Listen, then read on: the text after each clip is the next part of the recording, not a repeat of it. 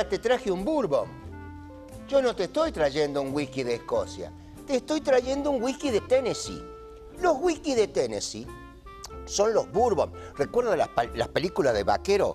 Cuando llegaban, se acodaban, ¿eh? Ahí en la barra. claro. Un bourbon. ¿Qué se clavaban? Un bourbon.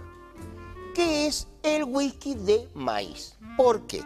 Porque cuando los ingleses, los colonos, llegaron a América, no tenían cebada para, para, para este, hacer su whisky.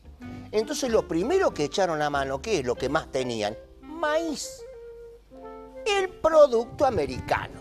Entonces, como eran muy sedientos y no podían esperar a que salga la cebada, ¿qué hicieron, querido amigo? Hicieron whisky con el maíz. Tostaron el maíz e hicieron whisky con esto.